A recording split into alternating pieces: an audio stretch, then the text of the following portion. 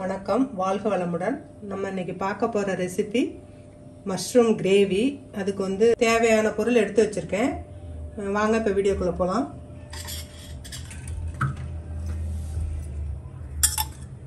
இதுக்கு தாளிக்கிறதுக்கு ஒரு ரெண்டு டேபிள் ஸ்பூன் எண்ணெய் விட்டுக்கலாம். எண்ணெய் காஞ்சிருச்சு. ரெண்டு பட்டை கிராம்பு ஏலக்காய் அதில் போட்டுக்கிறேன்.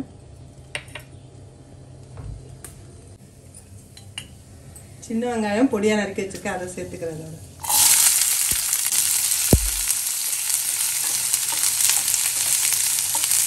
வெங்காயத்தை நல்லா ப்ரௌனாக வணக்கிட்டீங்க.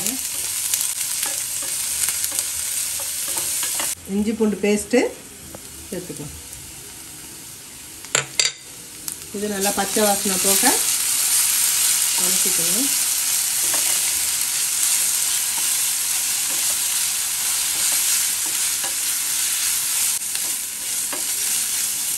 அது ரெண்டு தக்காளி பொடியாக நறுக்கி வச்சுருக்கேன். அதை இதோட சேர்த்துக்கலாம்.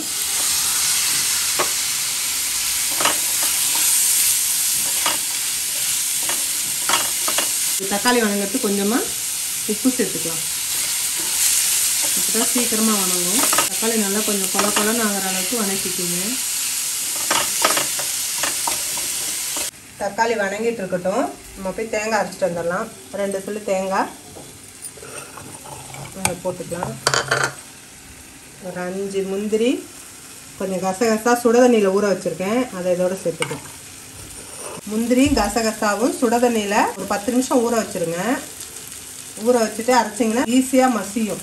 பொடியாக நறுக்கி வச்ச மஷ்ரூமை அதில் சேர்த்துக்கலாம்.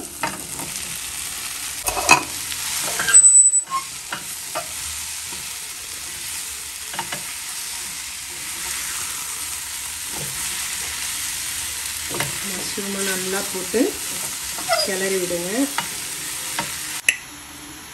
மஞ்சள் தூள் போட்டுக்கலாம். மிளகாத்தூள் ரெண்டு டீஸ்பூன். மல்லித்தூள் ஒரு டேபிள் ஸ்பூன் போட்டுக்கலாம்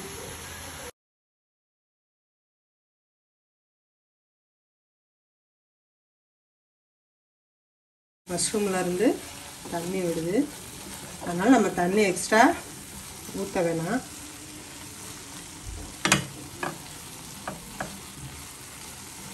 இதுக்கு தேவையான அளவு உப்பு போட்டுக்கலாம். ஏற்கனவே தக்காளி வணங்குறதுக்கு உப்பு போட்டிருக்கோம். அதனால் பார்த்துட்டு போட்டுக்கணும்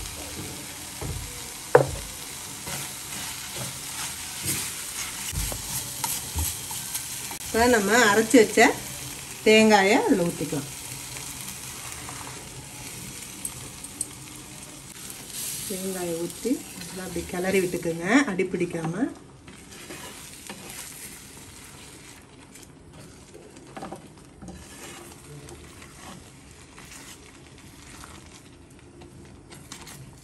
அப்படியே கிளறி விட்டு ஒரு ஏழு நிமிஷம் கொதிக்கட்டும். நம்ம இதை வந்து சிம்மில் வச்சுட்டு இப்போ நம்ம மூடி வச்சிடலாம்.